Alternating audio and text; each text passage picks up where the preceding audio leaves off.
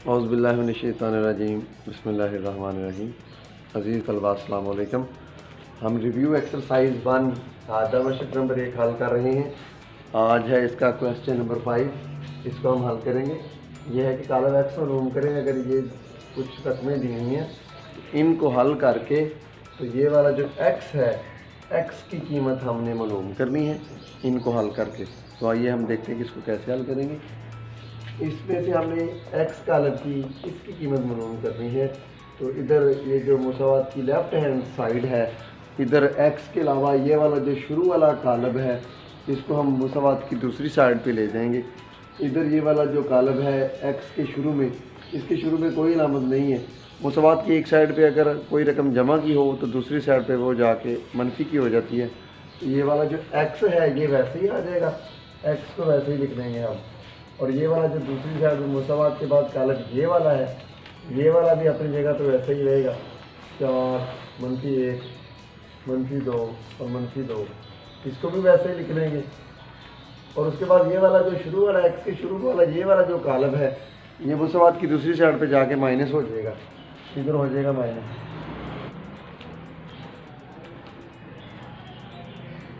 ये वाला सारा कालब जो है उधर दूसरी साइड पे मुसवात के जाके माइनस हो जाएगा।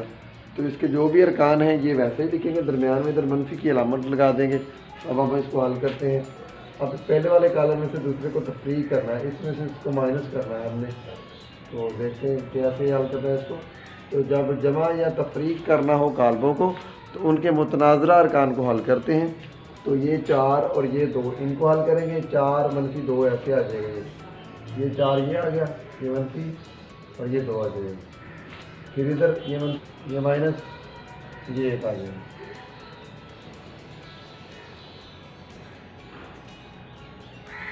फिर नीचे ये वाला मनफी एक, ये मनफी और ये तीन हो जाएगा। ये मनफी दो, ये माइनस और ये माइनस प्लस हो जाएँगे। ये मनफी की अलामत, इस मनफी की अलामत को साथ जब हल करेंगे तो वो जो है वो जमा की अलामत में बदल जाएगा। इधर क्या बन जाएगा? जमा का तीन बन जाएगा इधर हमारे पास। अब हम इसको मजीद हल करते हैं, क्या जवाब आता है वो देखते हैं। एक्स वाला कालब ये जो शुरू वाला, ये वैसे रहेगा। चार में से दो तफरी करें तो हमारे पास आ जाएगा दो। चार में से दो निकालें तो दो। ये तीन और एक, ये बन जाएँगे चार। माइनस माइनस प्लस होता है, दोनों को जमा करेंगे। और अलामत वही लगाएँगे जो दोनों के साथ तो मनफी का चार आ जाएगा ये भी माइनस माइनस प्लस तो तीन बन जाएगा, लेकिन मनफी का तीन बन जाएगा, अलामत मनफी की रहेगी ये तीन में से दो निकालें तो कितना आ जाएगा? एक आ जाएगा। जमा के।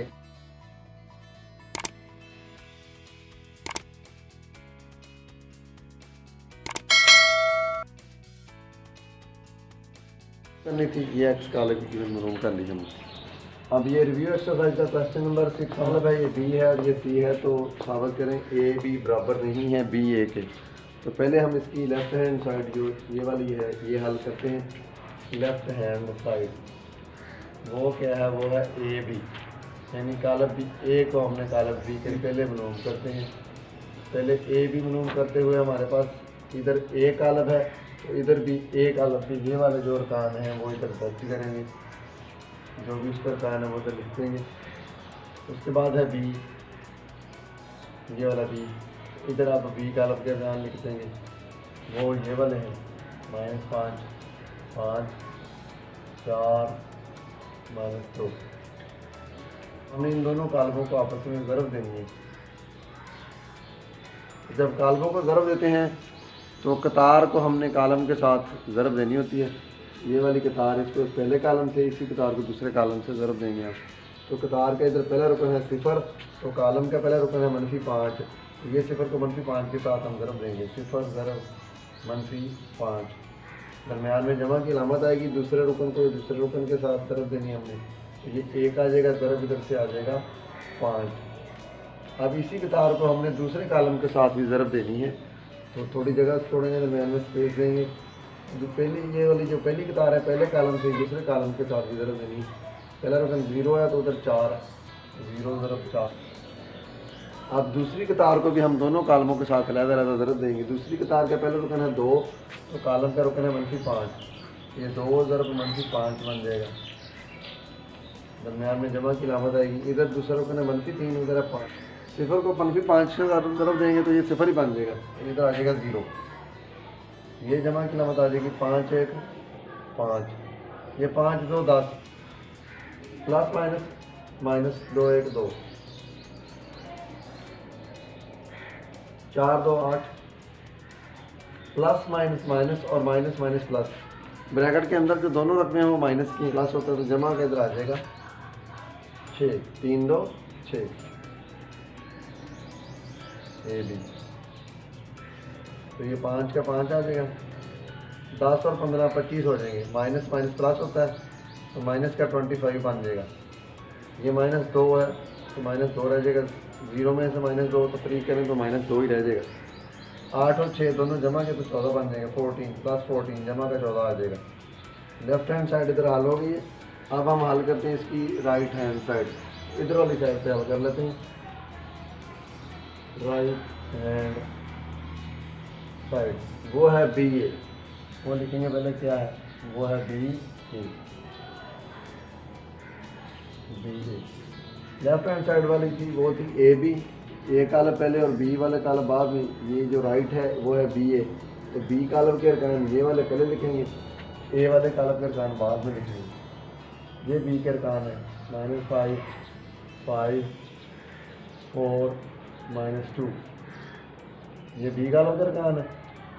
उसके बाद है ए कालम के अरकान ये zero two one minus three ये है एक आलम के अरकान अब हमें इन दोनों को आपस में ज़रूरत देनी है कालमों को। तो जब कालमों को ज़रूरत देते हैं तो कतार को कालम के साथ ज़रूरत देते हैं। ये पहली कतार है इसको पहले कालम से इसी कतार को दूसरे कालम से ज़रूरत देंगे इसका पहला रुकन है मनफी पाँच है उधर ज़ीरो है ये वाला जो है। इस तरह से आ जाएगा मनफी पाँच दरब ज़ीरो। दरमियान में जमा की लामत आएगी। इधर दूसरा रकम चार है उधर दो है। तो ये आ जाएगा चार ज़रब दो। इसी कतार को दूसरे कालम के साथ भी ज़रब देंगे थोड़ी स्पेस छोड़ेंगे दरमियान में। इधर इसका पहला रुकन है माइनस फाइव है। उधर है एक। तो ये माइनस फाइव मंथली पाँच का हम ज़रब दे देंगे एक के साथ। दरमियान में जमा की अलामत आएगी। ये दूसरे रुकन को दूसरे के साथ ज़रब देंगे। चार ज़रब मनफी तीन अब दूसरी कतार ये वाली जो नीचे वाली है, इसको भी हमने दोनों कालमों के साथ ज़रब देनी है। तो ये है पाँच। पाँच ज़रब ये आ जाएगा सिफर। तो दरमियान में जमा की आमद आएगी, दूसरे रुकन को दूसरे रुकन के साथ ज़रब देनी है हमने। ये आ जाएगा उनकी दो, ज़रब दो। इसी कतार को अच्छा उधर एक है। पाँच ज़रब एक। जमा की लामत, ये माइनस दो, इसको माइनस तीन के साथ ज़रब देंगे minus two multiply by minus three ये माइनस थ्री है।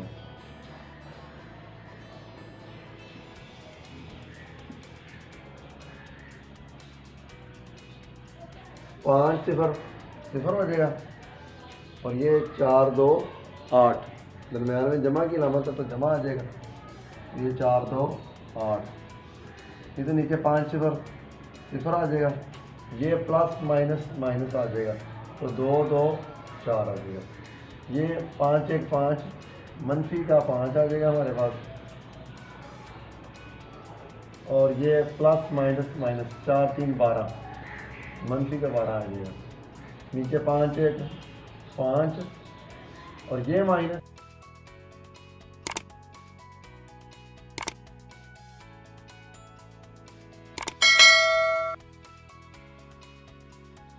प्लस ब्रैकेट के अंदर माइनस माइनस प्लस तो ये जमा का तीन दो छः बन जाएगा अब बी ए का जवाब देखते हैं हमारे पास क्या होता है। ये आठ है, ये वैसे ही आठ आ जाएगा। सिफर जमा आठ आठ ही रह जाएगा। सिफर मनफी चार मनफी चार रह जाएगा। मनफी पाँच और मनफी बारह माइनस माइनस प्लस होता है। माइनस माइनस प्लस बारह और पाँच सत्रह मनफी से सत्रह आ जाएगा। ये छः और पाँच ग्यारह, ये आ जाएगा ग्यारह। अब हम देखते हैं, ये वाला ये वाला जो लेफ़्ट हैंड साइड का जवाब है, इसको नंबर एक दे लेते हैं, और ये वाला जो राइट हैंड साइड का जवाब है, इसका नंबर दो दे लेते हैं। ये दोनों का जवाब जो है, ये बराबर नहीं है। दोनों जो है, ये इक्वल नहीं है। इससे साबित हो जाएगा ए बी जो है, वो बराबर नहीं है। बी ए के पास साबित हुआ। A B is not equal to B A यही हमने इसे साबित करना है।